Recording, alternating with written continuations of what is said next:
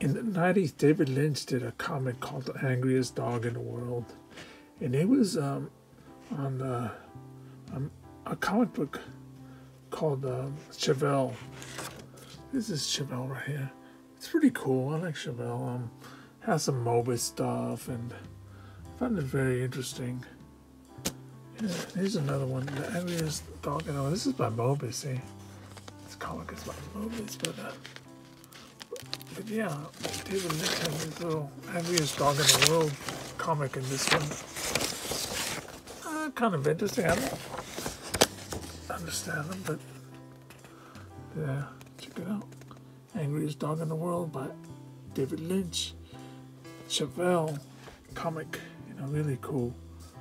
Really like, uh, it's like an independent comic, you know, Cheval and from Europe and stuff, but uh, definitely check it out.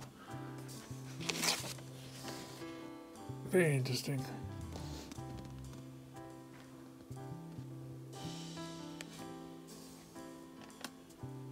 If you like cartoons, movies, books, music, I demand you subscribe to this channel.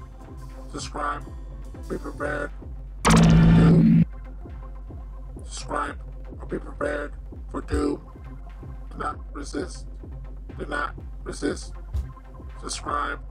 Subscribe. Subscribe.